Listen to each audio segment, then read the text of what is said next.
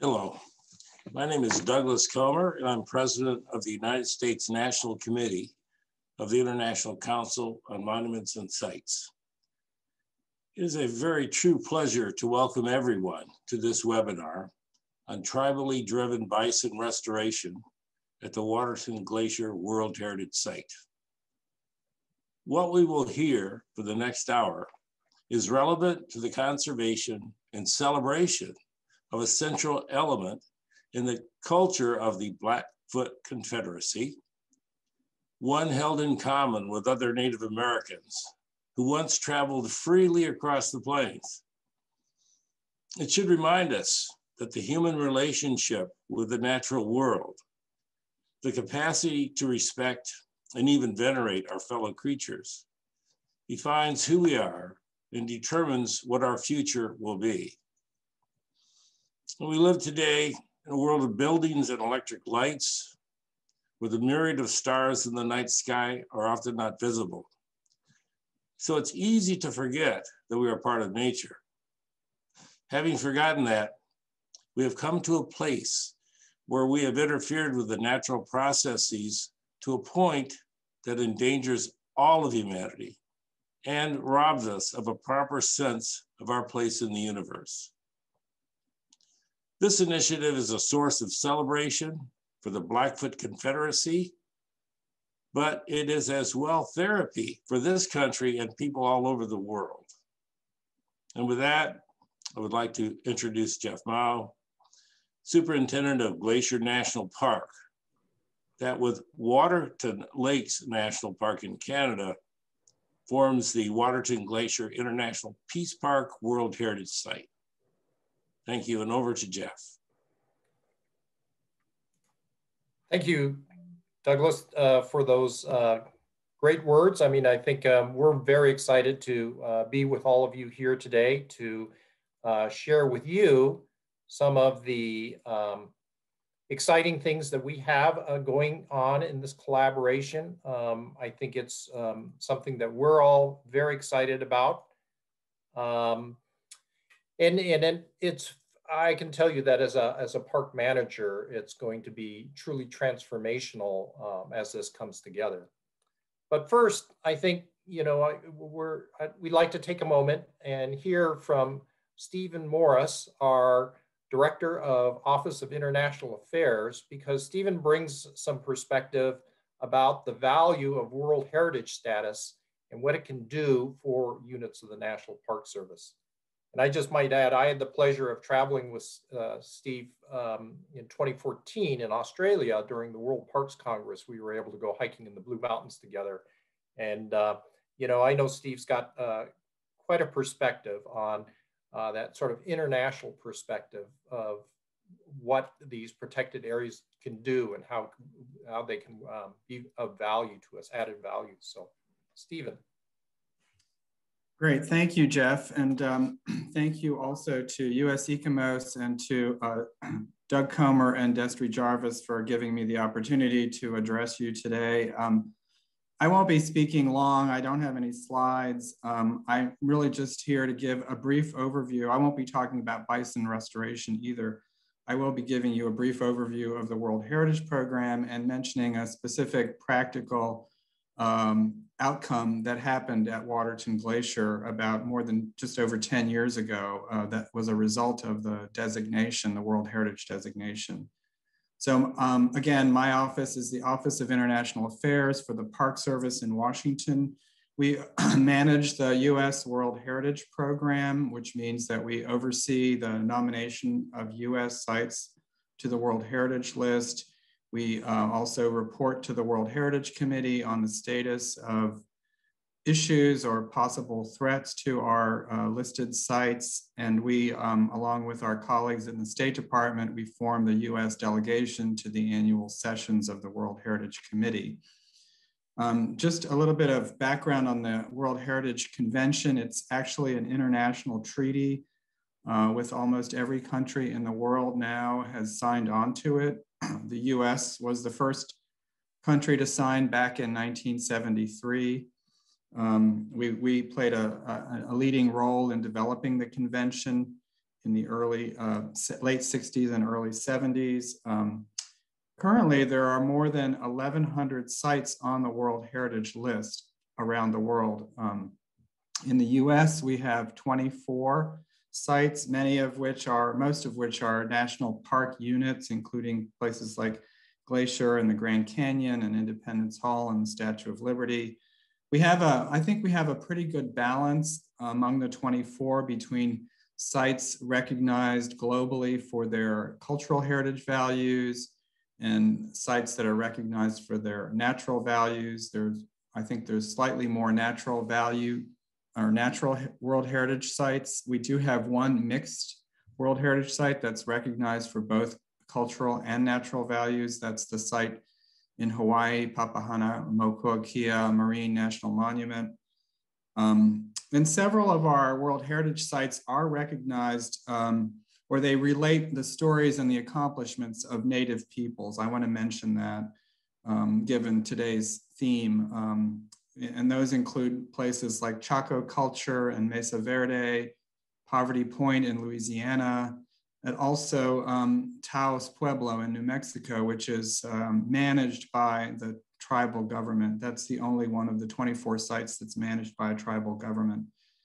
Um, so we're, um, we're still nominating US sites. We're currently working on the nomination for the Hopewell Ceremonial um, Earthworks in Ohio. We've been working on that for the last several years with the stakeholders there, including Hopewell Culture National Historical Park and the Ohio History Connection but there's also significant involvement from uh, tribal organizations in that nomination. We're hoping to be able to finish that up uh, this year by the end of the calendar, calendar year and submit it to the World Heritage Committee early next year. Um, now I want to turn just briefly to Waterton Glacier. It was inscribed on the World Heritage List in 1995 um, I have to say it was not uh, it was not an easy path to getting listed. Um, in fact, uh, it turns out there were uh, three versions of the nomination um, over time, and uh, each time I guess it was improved a little bit. I read over the getting ready for speaking with you today. I read over the evaluation by the um, International Union for the Conservation of Nature. That's the organization that's um, the advisory body for natural sites for the World Heritage Committee. So they look at all the proposals and uh, make recommendations to the committee as to whether a, a, proposed site meets the criteria. So they did three formal evaluations and, and apparently there was some disagreement within the IUCN World Heritage panel as to whether Waterton Glacier was going to really had outstanding universal value, but they did conclude in the end that it did. Um, I thought it was interesting. They specifically mentioned the cultural importance of the International Peace Park um, uh, designation. And so that was a factor. But it was inscribed under two criteria out of the four uh, possible natural criteria. One was for scenic, natural beauty, scenic beauty, and the other one was for ongoing e ecological and biological um, processes of outstanding universal value. Um, and if anyone is interested in really uh, seeing um, a good description of the outstanding universal value, I recommend that you visit the um, World Heritage Center's webpage. They have a brief synthesis of, of the criteria and a description. So I said it was not an easy path to inscription, and um, I think that's true, but I definitely think it was worth the effort um, because a dozen years after the listing, uh, there began to be um, issues that arose in regard to energy development in the Canadian Flathead uh, Valley, and um, many, many groups began to be concerned about that. I should mention that the Flathead River, uh, which flows from Canada into the United States, forms the western boundary of Glacier National Park. It's a pristine river.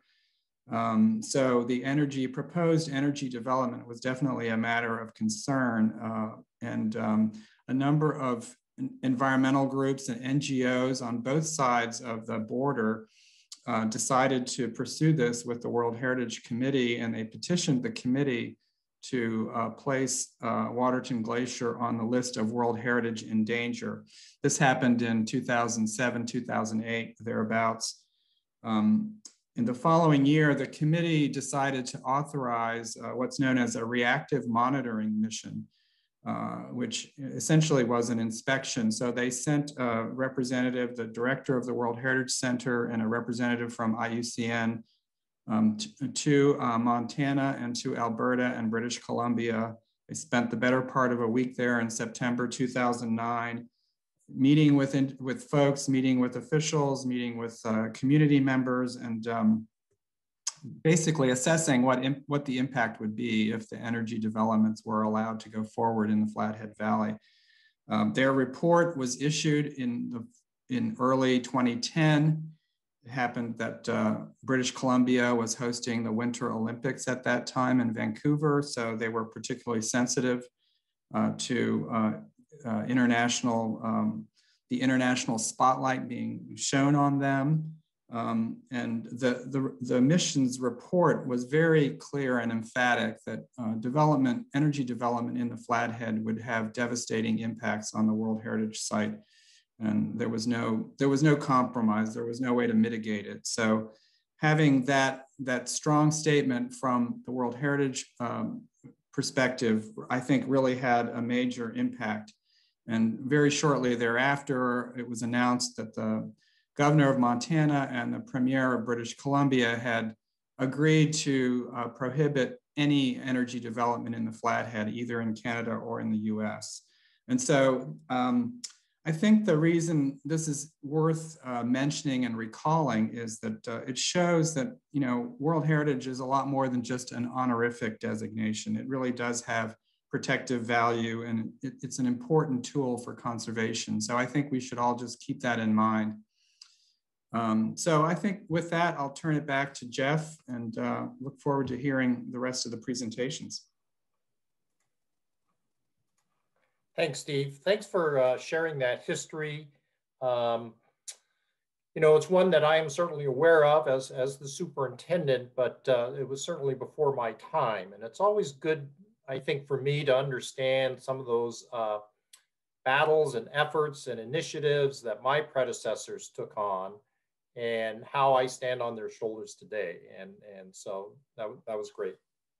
Um, as your moderator today or for the panel that's uh, upcoming, I, what I'd like to do is do a, a short orientation to the landscape that Steve was just talking about. Um, we're talking about the crown of the continent landscape that we're uh, that's shown here on the map and give you a reference to where it is in North America. Uh, Steve was just talking about the headwaters of the Flathead, which is in this area. This crown of the continent landscape, and I've also sort of um, added uh, which is the Blackfeet name for, um, uh, well, it translates to, to backbone of the world uh, which you know really is represented here uh, in this crown of the continent landscape. But this larger land, landscape around us is about 11 million acres in size, which is about 4, 4.4 hectare, 4.4 million hectares in size. It's a pretty sizable area. Much of it is under conservation. And um, what's really unique about this landscape for, for such a large area that there's only three roads that transect this landscape. So it really does offer uh, incredible opportunities for wildlife connectivity, for in, intact ecosystems. And uh, this crown of the continent landscape is one where um, we have active management taking place uh, on that. Um, it's also uh, geographically one of the narrowest sections of the Rocky Mountain the Rocky Mountains, which stretch from Mexico all the way to Alaska. Um, and in fact, um, in this area, which is part of Glacier National Park, we have the sort of easternmost extent of Pacific coastal Northwest, Pacific Northwest coastal rainforest. And just a few miles over the divide, you come to the um, prairies of the grasslands of the prairie areas um, which of course extend for uh, almost a thousand miles uh, to the east. So it's a really uh, unique situation uh, from an ecosystem perspective because it brings together uh, in very close proximity some unusual um, uh, geographies. Um, there's a group that of managers like myself and Sal who will be on with us in a moment. He's the superintendent of Waterton Lakes National Park. Um, but we work together on how we manage this uh, landscape for some of those conservation values, cultural values as well. Um, we like to say that at the heart of the crown of the continent landscape uh, is Waterton Glacier International Peace Park. And um, together, uh, Waterton Glacier International Peace Park was first established in 1932 by um, simultaneous acts of the Canadian Parliament and the US Congress, which is a hard thing to imagine these days happening. Um, likewise, in uh, I believe it was 1976 that uh, um, UNESCO gave, uh, gave, uh, um, presented the uh, Man in the Biosphere, the Biosphere Reserve, for Waterton Glacier. Um, as Steve mentioned, in 1995, uh, World Heritage designation for Waterton Glacier International Peace Park uh, was presented. And actually in 2017, uh, Waterton and Glacier together became the world's first transboundary international dark sky reserve. And, you know, it's, it's, that's representative of how we're working together, how we try to work seamlessly across this international border on how we manage our parks as part of the International Peace Park. So what we'll be discussing today and, and what's so exciting is, is how we are working with our um, native partners, our indigenous partners uh, to the east on a very transformational initiative to bring uh, bison, wild free ranging bison back to this shared landscape, uh, species that had not been free ranging for well over 100 years. And um, so to do that, we will hear from um, Helen and Sheldon, two tribal members from the Blackfeet. We will hear from uh, Cristina Mormorunni, who is with the Wildlife Conservation Society and, and, how, and the important role that they play in uh, uh, as facilitating this ongoing relationship. And Sal Rasheed, my counterpart, um, at Waterton Lakes National Park will um, talk about uh, some of the activities that's going uh, north of the border. So with that, um, I'm gonna turn it over to uh, Helen and Sheldon to uh, introduce themselves. And also I think it's important that we think about and, and uh, approach this um, presentation from a traditional perspective. So with that, I'm going to stop sharing and turn it over to Helen and Sheldon. Okay, Nistu Nidanigu Mamiat Sikamiaki. Good morning. Um, my name is Helen Augare Carlson. Okay, Nadaniku Mustaki Otas.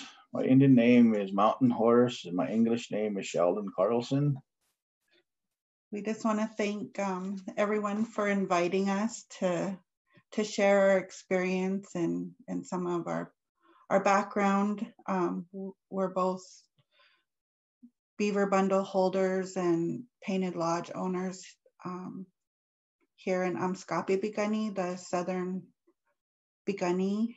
Um, we're part of the Blackfoot Confederacy, which entails our our tribes up north, um, the Siksika, the Kainai, and the, the northern Abatso Piikani.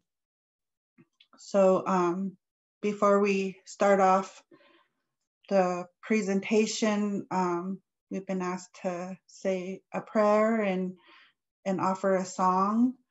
Um, so I'll start the prayer and then the song we're going to share is, is a Beaver Bundle song um, for safety, which um, includes the, the buffalo. So I'll start the prayer. Ayo estabata bio. Ayo napi not dusi. Ayo gipidaki kokomiki sum spumokit. Spumokin na nadokokit. Ayo bitsawatis manigapi. Spumokit. Spumokin na nadokokit. Ayo que está que mau pestaan e kuini man. Spumoket, spumoken naan e doukoket. Oki, puna kaako. Spumoket, spumoken naan e doukoket. Getsi, seksi mat stopen naan, kimatouken naan, nestuna upukaasen. Espamokennaan ki beta bisini. Gokin nan, misami beta bisin, gi gamotani. Thank you. So um, I work at the Blackfeet Community College. I've been there for 20 years. I co-founded the Native Science Field Center. Um, I also am the Title III director currently in administration, but my um, work that I've done has has really led a lot into again exploring my um, journey in life. I never grew up with with the language or the culture, but I grew up with the land. My family is from Mission, which is the eastern, down east of Medicine on the on the Medicine River. And our ranch out there, my great great grandfather was Eli um, Guardipee. And he was good friends with um, James Willard Schultz, and and they um, made a deal, and that's how we ended up. Our family ranch ended up being down on to medicine. Um, also, his son, Francis um, Guardipee, Francis X. Guardipee, he was the first Native American park ranger. Um, so the land has always really been uh, um, essential in our family. I know hearing about my grandfather, he was one of the last ones who went on the the last buffalo hunt that was here in in Blackfoot country in the late 1880s. And he talks about how the herd at that time um, was very small and they had to travel a long way to, to find them. And they realized um, during that hunt, you know, how scarce the buffalo were and and and that they needed to take some actions to um, to really look at going forward how they were going to save save the species and so and save the relationship and so um, they they met with other um, chiefs and i do i did come across a document where dick sanderville writes about um, five chiefs working with um, the Salish and Kootenai tribe to get seven calves from the east side of the mountains over to the west side um, to ensure that that those animals would be um, taken care of and and that that lineage would continue on. And so moving forward to my generation, like I said, I, you know, I never grew up with with the language, but I did grow up just exploring and being out on the land, whether it was in the mountains, going with my family to camp and to to fish and to, you know, enjoy the park or whether it was being out you know, on the, the plains or in, in the river bottoms, just enjoying our time out and learning about um, what my grandma would teach us about, you know, the plants and and different things that I never really knew were were the traditional knowledge, but I just figured it was her knowledge of of how we live in this place. And so, I mean, it, yeah. As I grew up, I I knew, you know, we didn't see the buffalo physically, but I, we all knew, like we were always told, be proud of who you are, and and we we knew like Beta, the eagle, and Iinnii, the buffalo. We knew that these species were were very important and that we could call on them, um, even though we might not physically see them, especially the buffalo. And I know the tribe, they had a, a herd when I was little that would just kind of show up and it was so just amazing to wake up one morning and out of the blue you see a herd of buffalo um, and it didn't happen often but when it did it was really really special. And i remember we would just like watch them for hours and and just enjoy the moment. Um, and so moving forward to you know the work that we're doing with with the park and the partnerships that we formed through the tribal college we really are the neutral hub in the community um, providing education to the youth and to our tribal college students the adult education you know working with our tribal government and our tribal resource management departments um, and working with the Confederacy. Um, it's been, you know, through my career, um, just a real pleasure to to be able to do projects like the Iinnii initiative, grassroots movements um, that really bring us together and unite us. Um, so back in 2008, 2009, we started to have um, elder dialogues.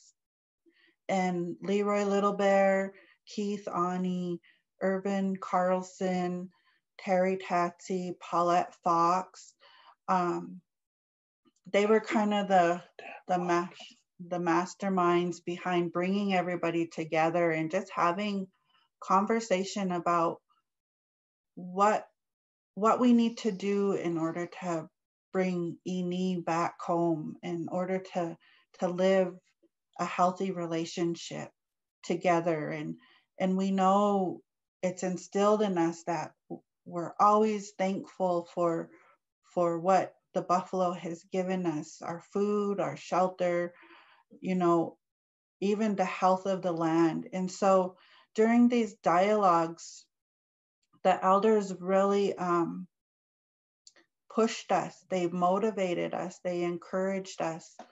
And and we always had a um, empty chair for iinnii he was always there in spirit and and he would ask us what are you going to do? How how are you going to um, make a home for me? And and he would tell us i never left you. It's you who left me. And so it was it was really a time when we would gather and and have these deep conversations and and the elders tell us you know this is what the relationship is. This is what has been um,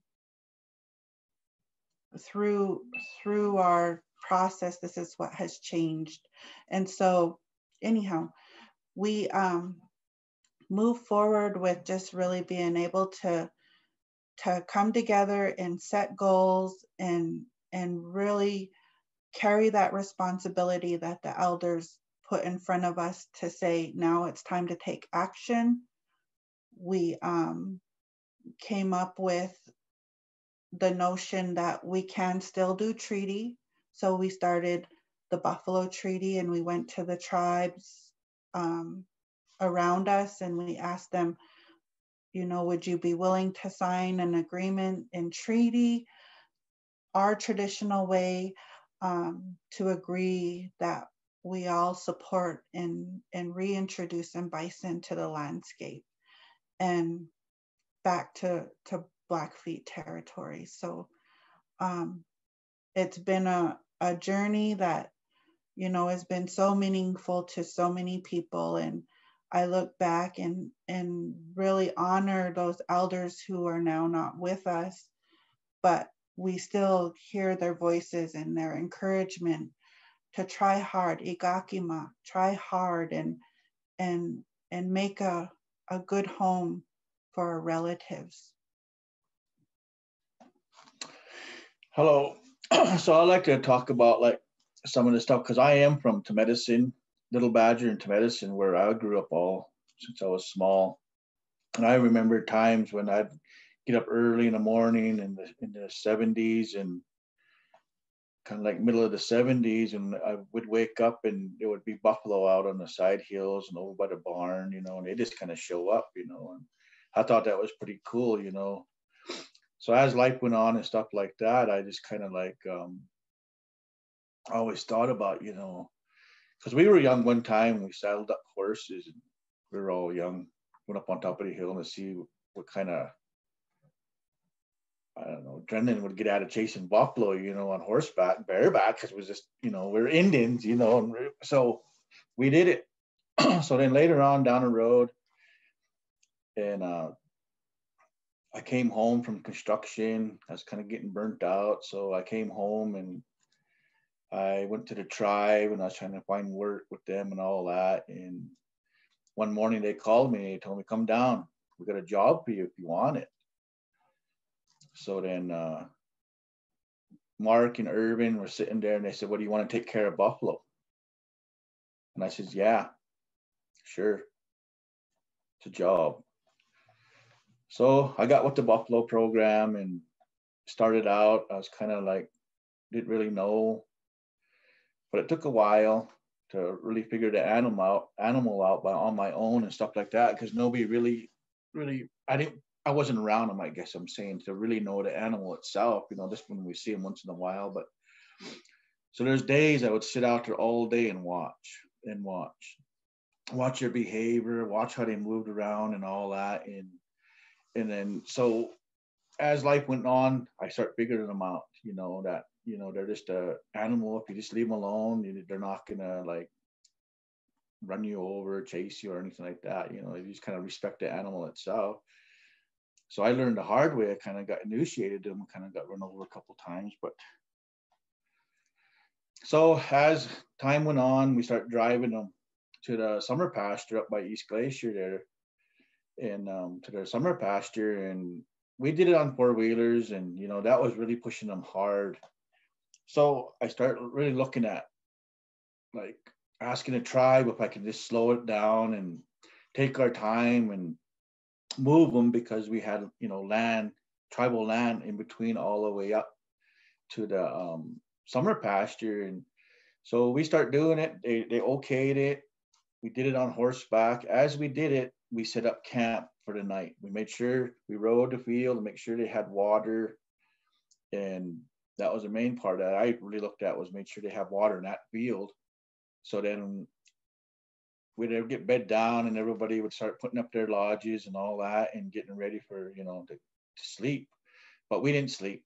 We stayed up all half of the night just laughing at one another who got chased or who was stuff like that during this drive you know and it was really a cool thing you know. Going to bed at five in the morning and getting up at seven and tearing the lodges down and then we start gathering the buffalo and we start moving west and we just took them slow because the respect what I had was for the older ones. I called them my grandmas, and then for the babies that was born that spring, because it was hard on them. So that's why we we we did them on horses, so it slowed everything down. And then they start getting bigger to where we start inviting people to come experience it. And it took us three days to do 27 miles. But you know what? Our animals weren't hurt, nothing. Everybody was, you know, not left behind and all that and a lot of our old people, my aunts and uncles and grandmas and grandpas, enjoyed that. They enjoyed that when we had vehicles and we had volunteers bring their pickups out and follow. and we would have big lunches and big suppers and all that. And you just hear them tell stories about their time, you know, of just the, the small herds way back in the days and stuff like that, you know. But now they were so happy that we have buffalo and that we did this drive and you know. So it was it was a good thing you know. There was one thing i really learned it was just uh, having that respect for the animal and then we needed the land. So one day i was telling Irvin they almost got into the uh, lewis and clark i think that's just south of east glacier there. And uh, by the doggone lake one day they were trying to head back up into the timber into the park side. So I went up there on horseback and I got a few of my friends volunteered to help me push them back out. But we just we just stayed there. As soon as we seen them, they were just like totally just laying, kicked back and all that. And the calves were running around and all that, you know. And I was thinking, man, that'd be cool if we could get them buffalo up in the up in the Cedar Strip. Huh? That was their. Oh, oh, okay. So, anyways, I'm getting close to where I gotta. Uh, but uh, so we started working hard and then when I started meeting different people and all that, and then there was times when I met Jeff Mow, I always really wanted to, uh, you know, get the buffalo up to the Cedar Strip. But yeah, that was a good story. That was my part of my, you know, experience and good. Hmm. Jeff? Well, thanks, Helen and Sheldon, um, for sharing with us. Um, I think that sort of brings that deeper meaning to uh, the work that we're doing, uh, the difference it makes uh, to all of you, both spiritually and culturally. Um, and with that, I'm going to turn the mic over to Cristina Mormorunni, who is the uh, regional director for the Rocky Mountain region of the Wildlife Conservation Society. And, and Keith Aune's name had come up before.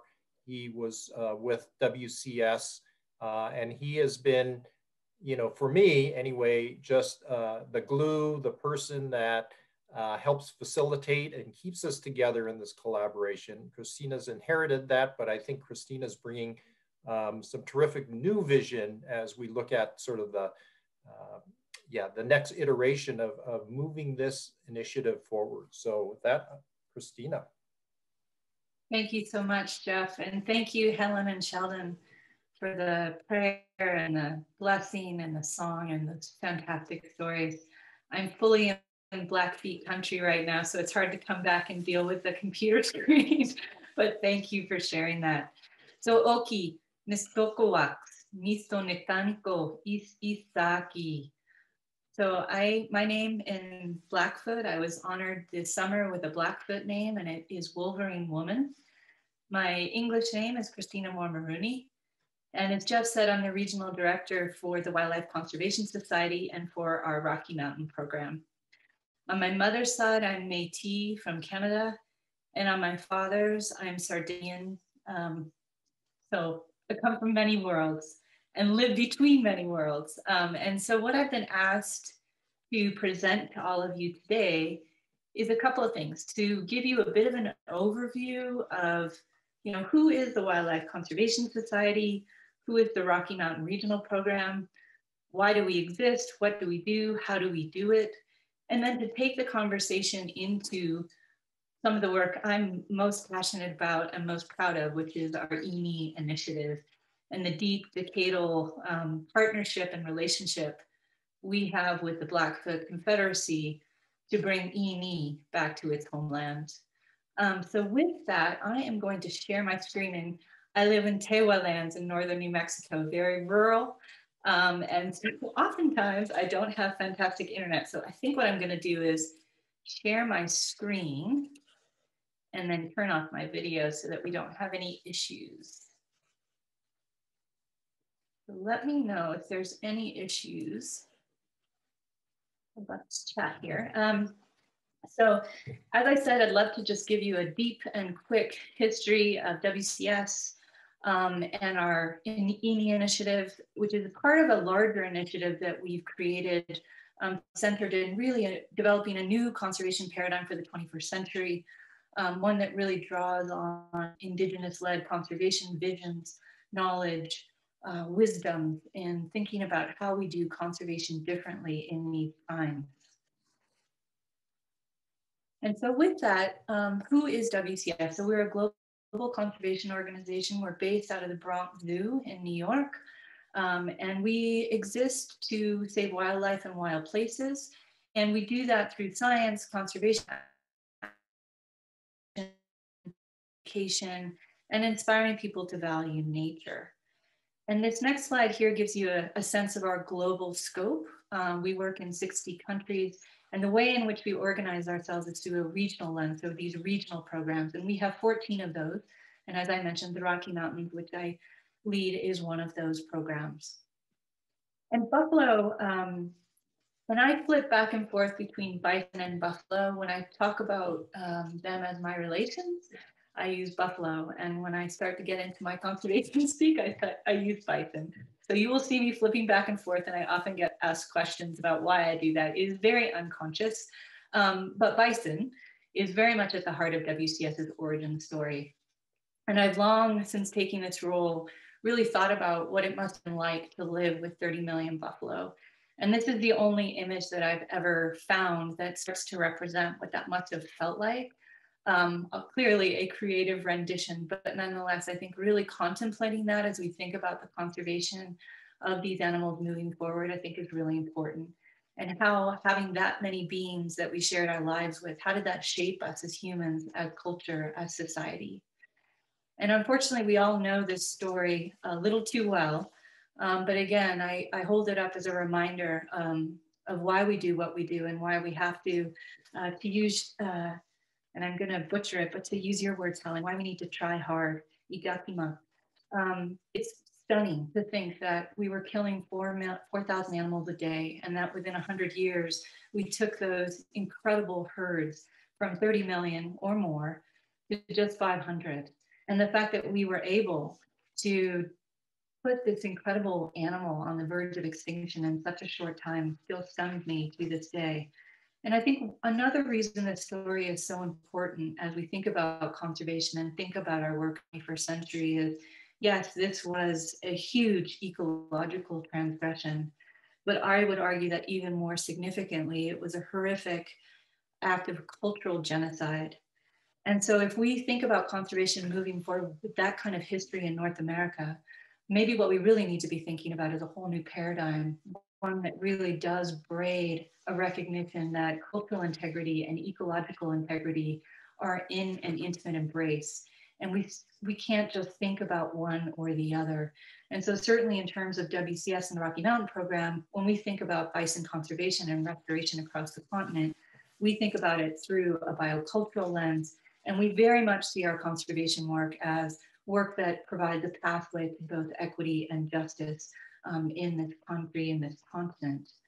So when the founders of WCS realized that, that the extermination of the American bison was hovering on the horizon, they, they stepped up, they leaned in, um, and with a few other significant um, conservation leaders at the time, they decided they were going to sort of begin the first rewilding experiment, if you will.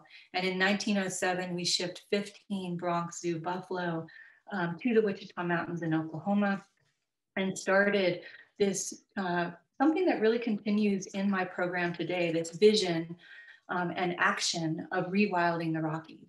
And we very much continue that work. Um, we do in, um, obviously in the Northern Rockies, but throughout our landscapes, uh, which this map here represents.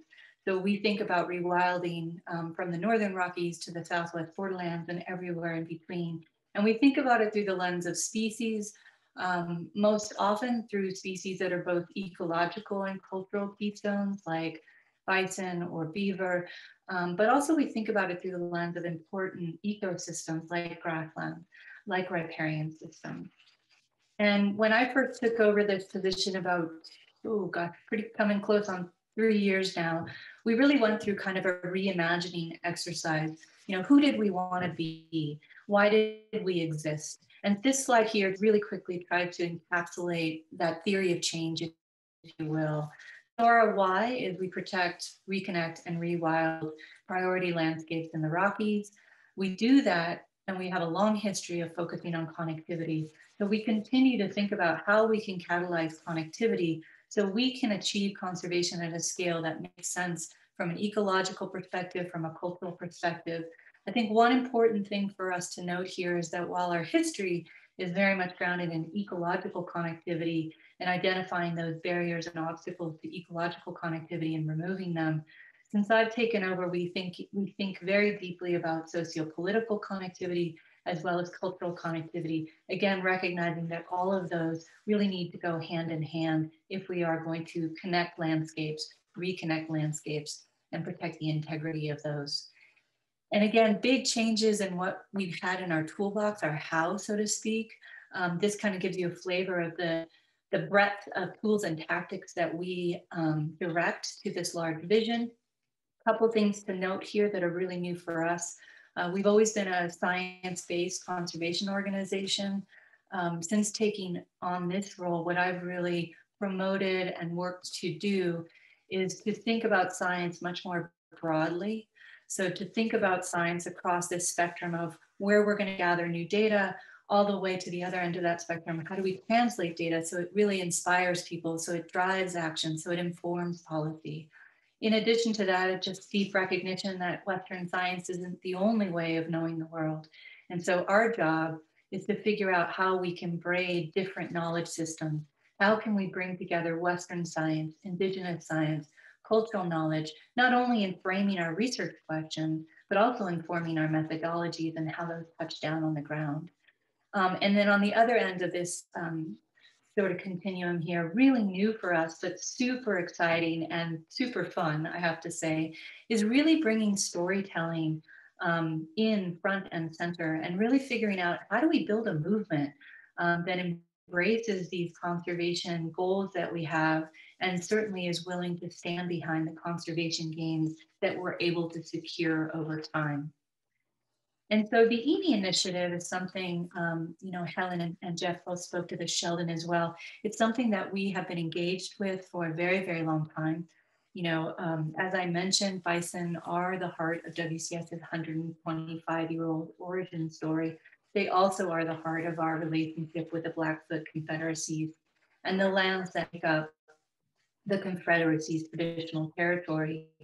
Um, you know, as this story was told to me, Helen really shared it so beautifully. There was a series of dialogues um, that were co-created with the elders' voices and visions and knowledge front and center.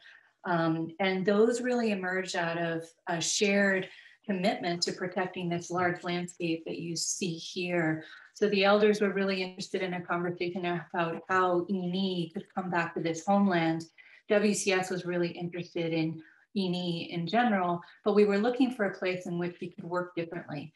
Um, a highly uh, matrix landscape, so being able to work across multiple jurisdictions, a landscape of high ecological and cultural integrity, a place that we could really sort of begin to roll out a new conservation paradigm, one that was holistic and systemic in its frame, community informed, um, indigenous led, and grounded in relationship and partnership. And as at the same time that Keith Aune, uh, my mentor, elder, uh, predecessor, was thinking about these things, he was approached um, by some of the leaders that Helen referred to from, from across the Confederacy. So Leroy Little Bear, Paulette Fox, Amethyst Newrider, um, a pretty incredible group of people. And they too were thinking about how do we bring Buffalo home? How do we start these conversations? And out of those dialogues that Helen detailed, what came was the Iinnii initiative. And at that time, um, there was three core goals that the elders had guided um, this, these various uh, leaders to take on board to embody in the Iinnii initiative. And those three goals were in connecting youth to Iinnii, to Buffalo, uh, to dissolve boundaries of all kinds, um, real and metaphorical, and to heal the land and people through Buffalo. And so the youth component of that involved everything from internships to school programs, cultural exchanges.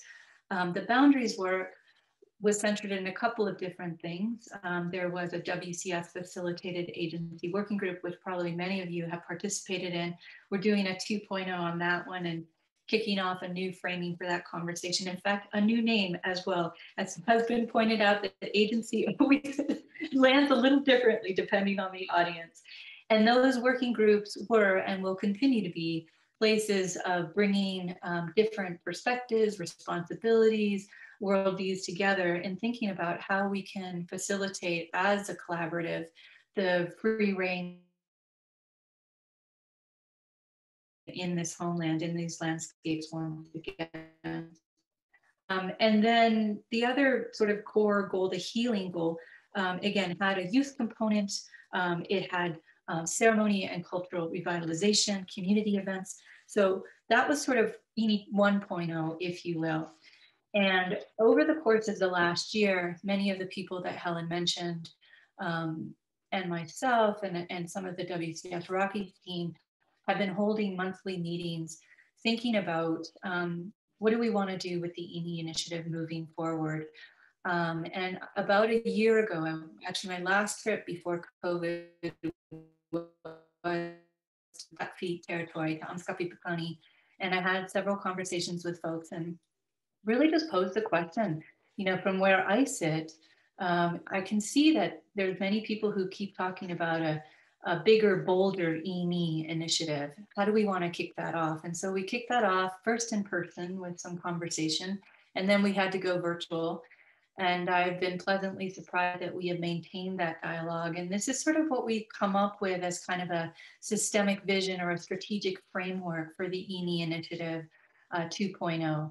So again, a recognition that youth and Iinnii are at the center of everything that we do, um, but that we need to think creatively about how we bring these different pathways um, into the into the mix as we think about getting Iinnii back on the land um, in a in a big big bold vision and scale. Um, and so this here is just a, a really quick representation of sort of a high level work plan that we've created.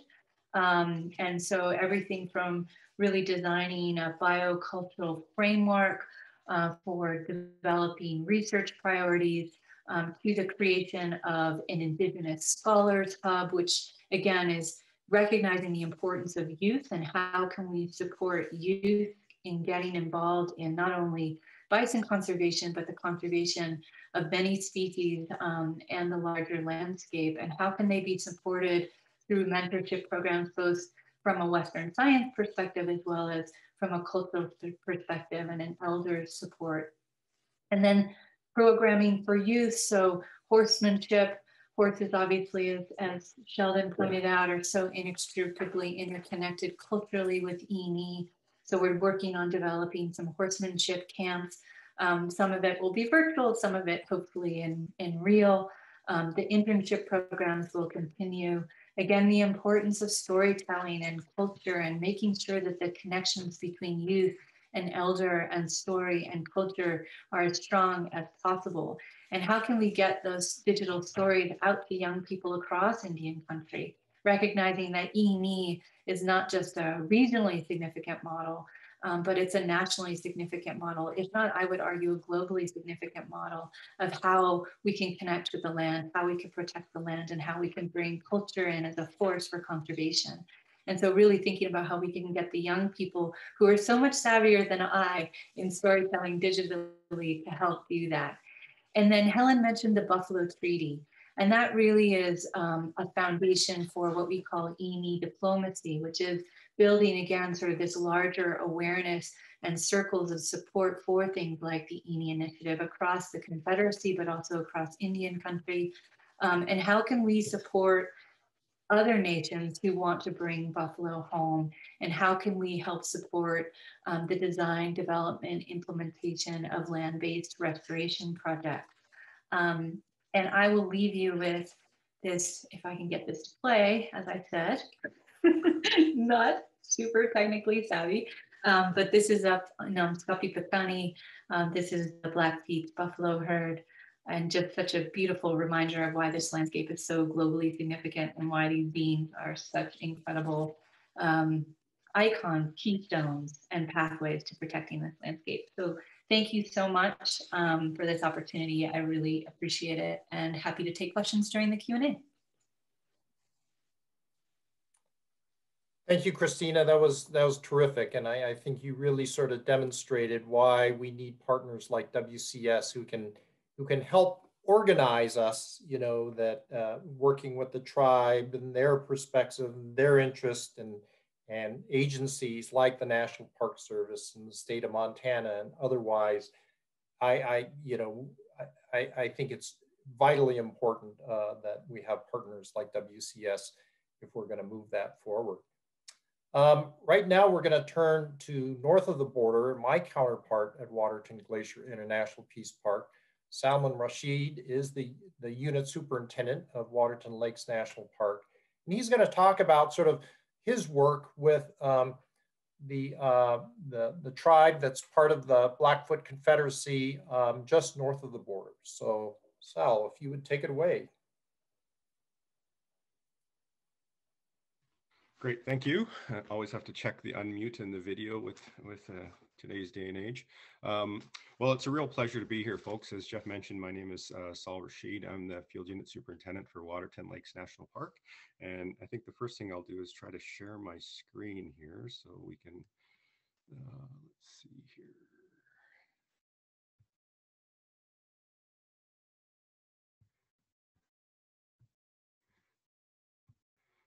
Oops, that's not what I, there we go.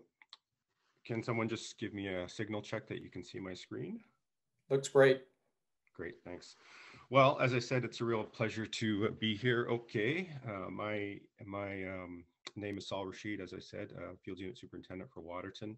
Um, my Blackfoot name is still standing, Nitapwai, and uh, it's a real honor to have a, a Blackfoot name um, in in traditional Blackfoot territory. Um, I I will be very brief in my comments because I think um, if you're an attendee to this uh, meeting, you've already sort of received the both the spiritual and the the uh, traditional framework for what we are trying to do here. And um, really, what I'm going to talk about is some very very recent uh, implementation activities that have happened in uh, Canada and that we're incredibly proud of. Um, so I'll just start uh, by letting you know that um, some of the material that Jeff uh, Jeff has already covered.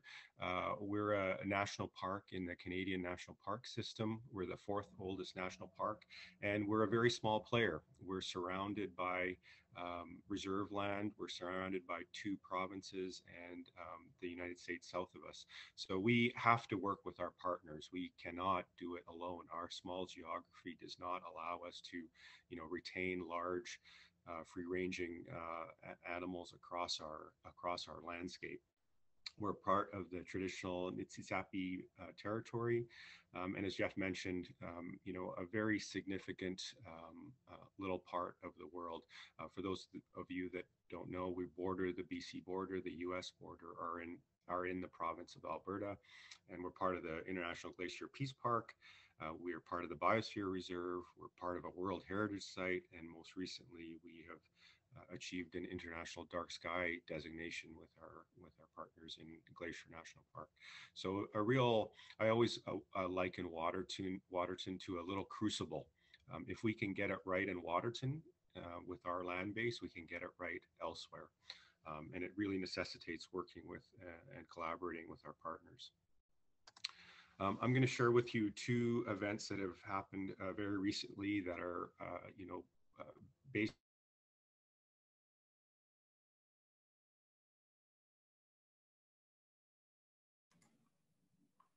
Sal, I think we lost your audio.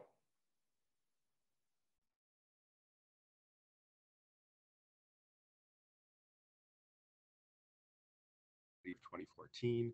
They recognized Iinnii as a keystone animal and they acknowledged um, management plans and business plans to reintroduce a cultural herd um, as part of a larger holistic plan. And I and I bring that up simply because it's important to have a, sort of that recognition from uh, chief and council to acknowledge uh, these rematriations. Otherwise, um, you know, the, the support really isn't there the local community, and, and and routing it through the chief and council was was really important uh, to us. So that was in uh, 2020. There was a lot of heavy lifting and hard work before then to make this happen. Uh, the Band Council resolution, the other important part was they set aside uh, around 3,000 acres um, uh, of reserve land for this initiative and there's potential for more reserve land to be set aside for this initiative and again really important that that chief and council were heavily involved in uh, in doing this so on uh, february 12th i'll just cut to the chase um, 40 uh, bison were uh, transported down from Elk Island National Park. So some of you have probably heard of Elk Island National Park in Alberta, just uh, a, a, little bit uh, east of Edmonton, Alberta, and uh, that really is a source population for many of our plains bison because they're disease free and and uh, they're transported uh, all over the world. We we transport animals from Elk Island all the way to Russia. Uh, Poundmaker Cree Nation just received some bison earlier this year, um, and and certainly the Blackfoot and Blackfeet nations have benefited from uh, transplants from Elk Island. So on February 12th, uh, 40 animals were transported down to uh, the Kainai Reserve. I'm happy to report that it went uh, really well. Uh, uh, you know, when you're doing these sort of transports and large scale movements of big animals like this, there's always an element of risk involved. And, and I'm happy to say that um, the, the transport went well and the bison are now uh, settled in their handling uh, uh, corral and will soon be released to the larger larger reserve paddock. So that happened on February 12th. And then um, on February 19th, which was really just last Friday, um, uh, Waterton Lakes National Park received our uh, demonstration herd back again. So some of you will know that in 2017, Waterton Lakes National Park uh, suffered from a very large catastrophic wildfire. Uh, we've always had, the park has always had a small demonstration herd. We had to remove that demonstration herd for safety reasons. And um, for the past uh, two, three years, we've not had bison in our national park. And so uh, uh, last Friday, uh, we also received um, uh, six animals uh, back onto our national park lands. The uh, we had elders from uh, the entire Confederacy, Siksika, Piikani, Kainai there, and they blessed the land before the arrival of the bison. Uh, it was a, a, incredibly special and symbolic event. Um, as Sheldon mentioned, there were good stories and there were good lots of laughter and and it was also a very spiritual a spiritual moment as well before the bison arrived. Uh, and um, our, our collaboration with the Blackfoot Confederacy is, is uh, really important to us. And one of the key parts that I was really proud of is that uh, the talk, the title of this talk is, is um, traditional lead uh, and and that's exactly what this was. Um, the the Kainai went to Elk Island and brought back bison to their lands. And in fact, the following week, the Kainai went on our behalf up to Elk Island and brought back bison for us for the national park. And so, really, they were leading, uh, and we were sort of helping from behind on this whole initiative. And it was um, people that have been mentioned already, Leroy Little Bear and Fox and others who are really um, pushing us along and, and encouraging us to get uh, these animals back on the, the landscape. So just a few uh, quick pictures of the actual reintroduction. Because of COVID, we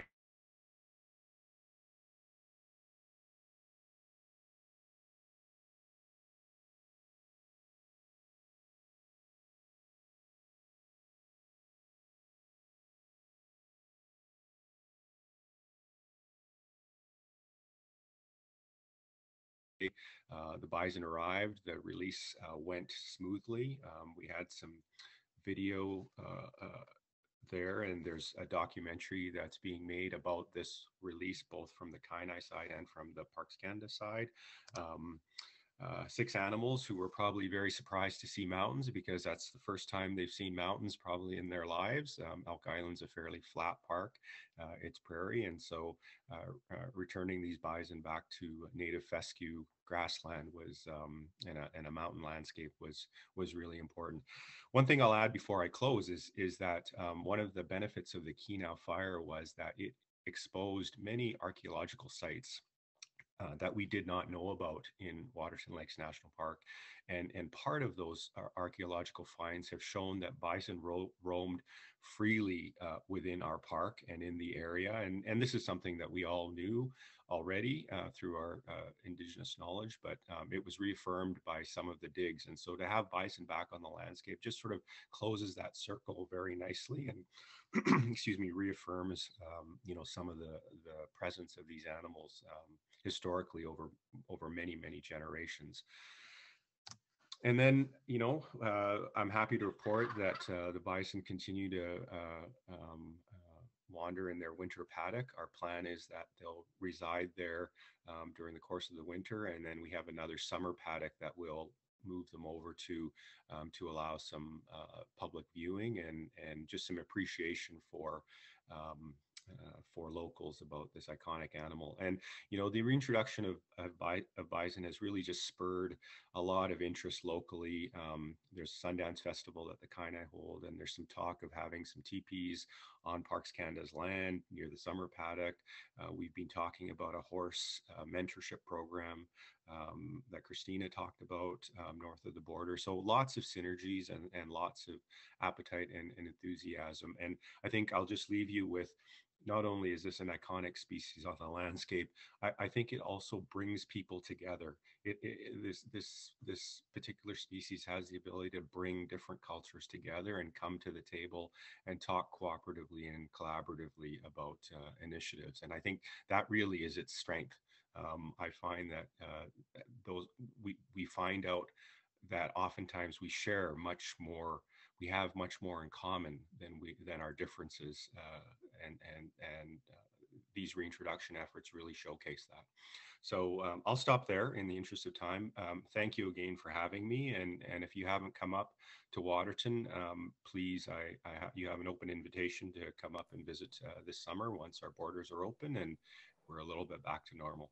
Uh, thanks very much.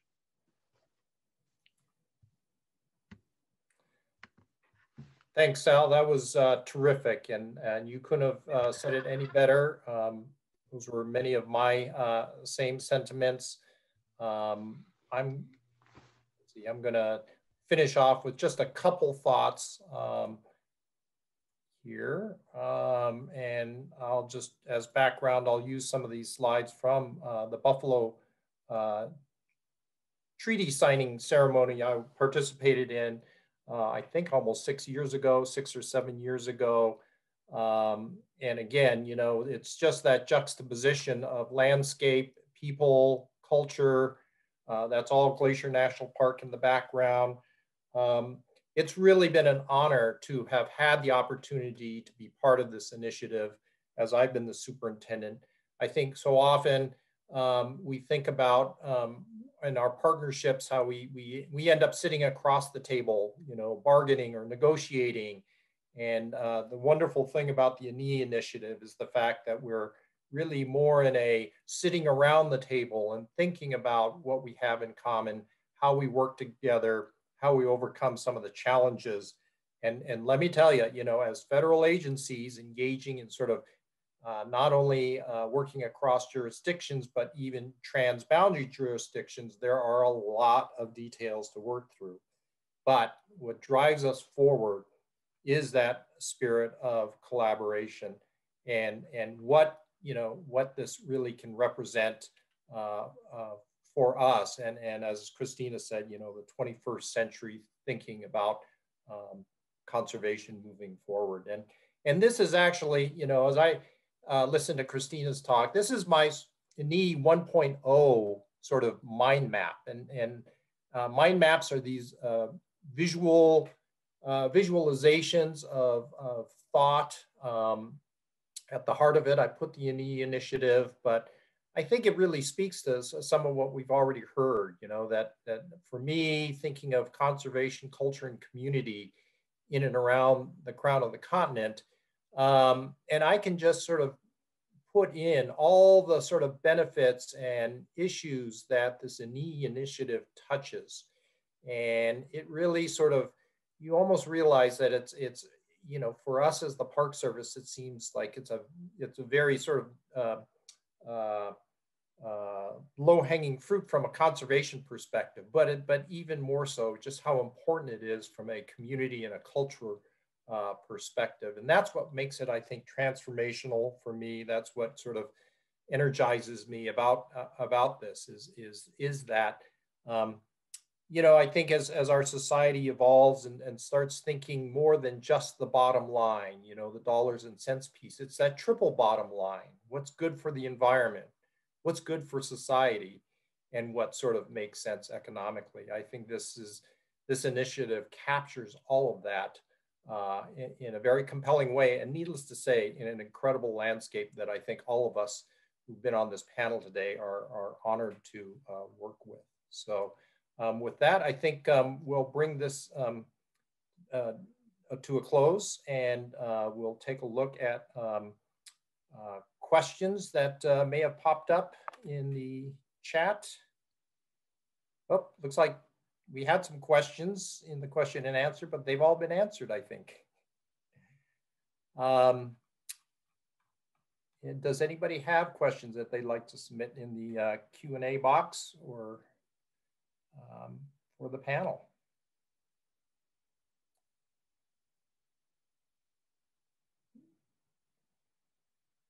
Um, and, and I'll take the opportunity and, and um, open it to the panel or any, any closing thoughts uh, from any of the other panel members uh, that, that we've heard from today.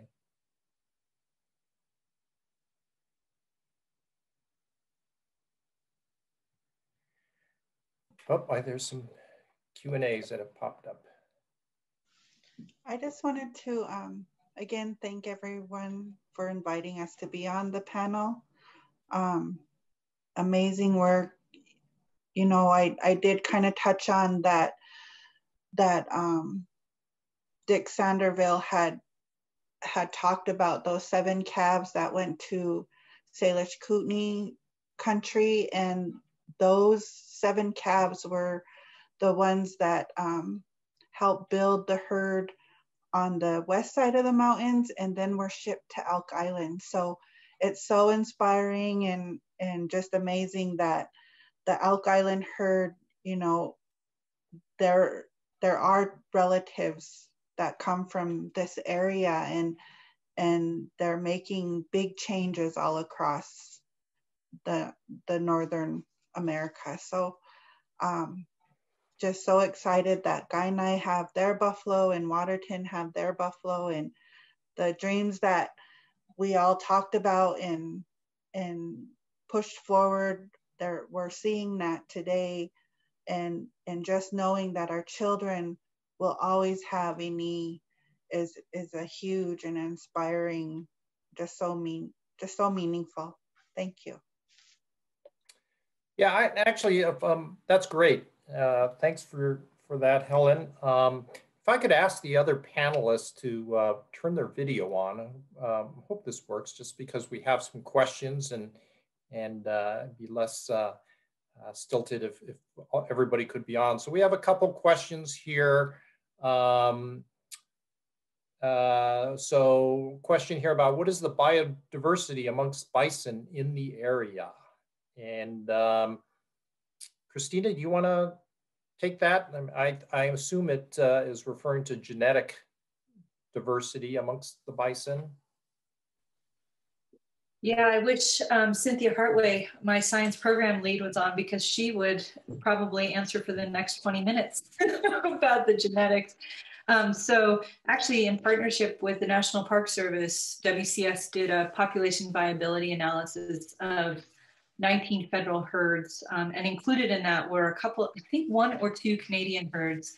Um, Saul may know better than I. Um, and so we have uh, completed that study that is now being um, put together and will inform the development of DOI's metapopulation management plan. But the other really exciting thing is we've leveraged that work to a deeper partnership with Parks Canada. And so we're starting to look at the genetics of a number of Parks Canada herds as well as First Nation herds. Um, and we were in early stage conversations about doing something similar with the Intertribal Buffalo Council as well as the National Bison Association down here. Um, so the answer to the question is um, it's a real concern because we got from 30 million animals to 500 to better understand um, the genetics of that of those animals and of those herds.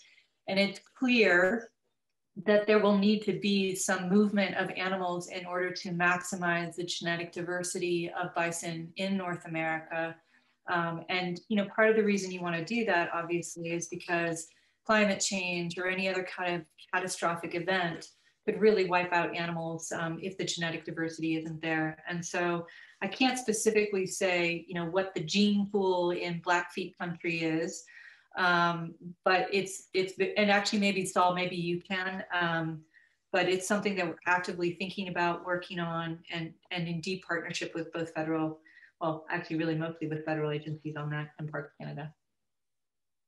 Great, thank you. Um, here's a question maybe for uh, Helen and Sheldon. Uh, the question, how is the bison herd, or maybe you should address herds, doing on the Blackfeet Reservation? Um, they seem to be really doing pretty good. Um, I was out there a while back. I just kind of took a ride because I get lonesome for them being around them and stuff like that. So I actually drove through all of them, the Elk Island and uh, uh, tribal herd down on the Winter Range, and they're they, they're they're they're real good. They're, they got lots of babies. Yeah, so lots of babies. So. The, they're healthy. The herd is growing. Um, we had some come back from Oakland Zoo um, in that partnership. So um, yeah, they're they're doing well. Yeah, I just might add, I think, you know, their, their viability when we have these extreme cold and winter events, um, you know, I think the traditional uh, stock growers, you know, always have to uh, manage winter kill of cattle uh, in the area. But I think, uh, I'm not sure I've ever heard of, when, you know, winter kill of, uh, that bison suffer from, from the cold. So, you know, obviously they're, they're, they're designed for it. So. Um, maybe for Sal, a question here about any thoughts on how conservation can also help in advancing reconciliation efforts? Well, uh, I think the um, you know the the answer is in the question. Um, we we certainly are using uh, the bison rematriation work that we're doing here as a a bit of a platform for all parts of reconciliation, and um, you know, I'll just give you a bit of an example of kind of a vision I have uh, here in Waterton.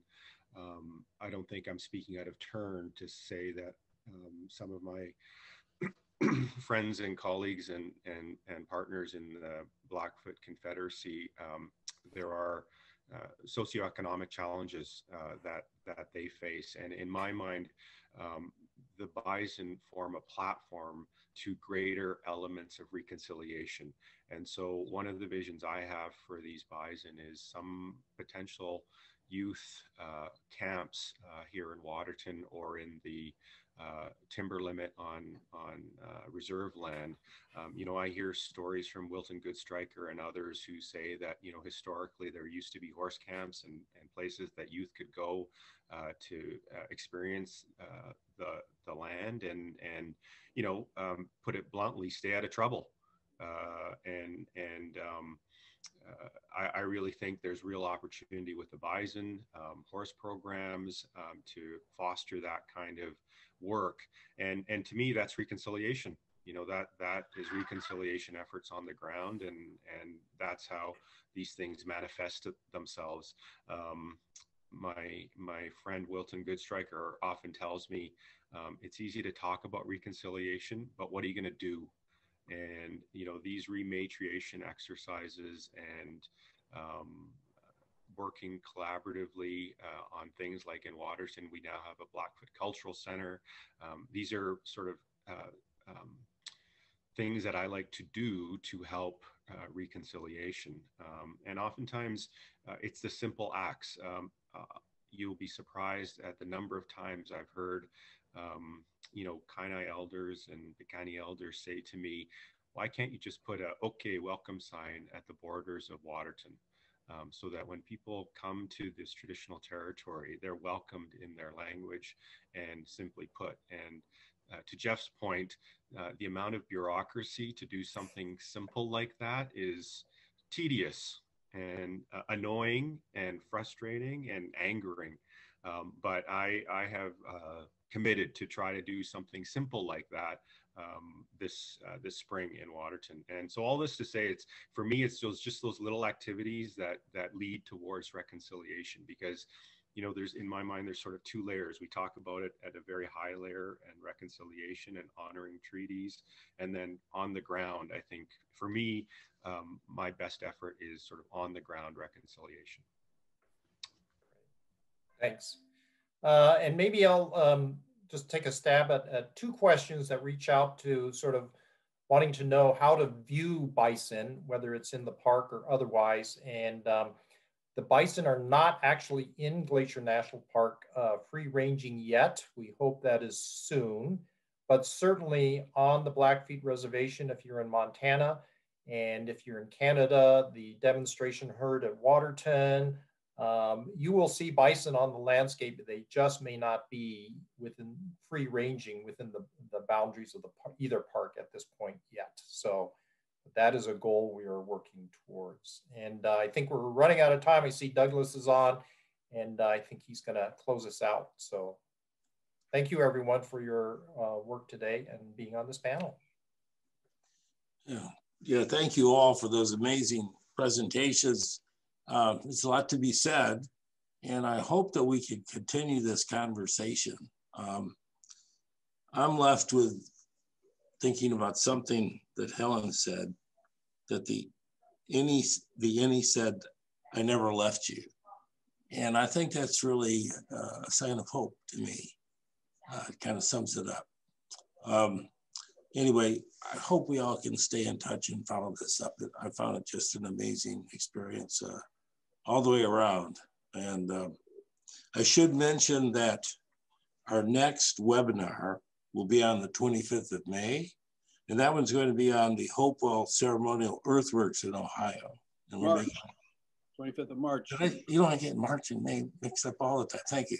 Uh, March, yeah. And, uh, and, and we are trying to bring back some of the Native American groups uh, that were uh, relocated to uh, Oklahoma be part of that. Listen, thank you all so much. I've really enjoyed this and I've really enjoyed meeting you. And I want to meet you all in person someday. Okay. So when, when that's possible, you can expect me to be knocking on your door. Uh, so with that, thank you all so much. This was just an amazing experience and full of information. Have a wonderful day. Have a wonderful day. And uh, it's getting warmer. We've got a vaccine. We've got a new administration and we have hope. See you soon, I hope. Bye-bye. Bye.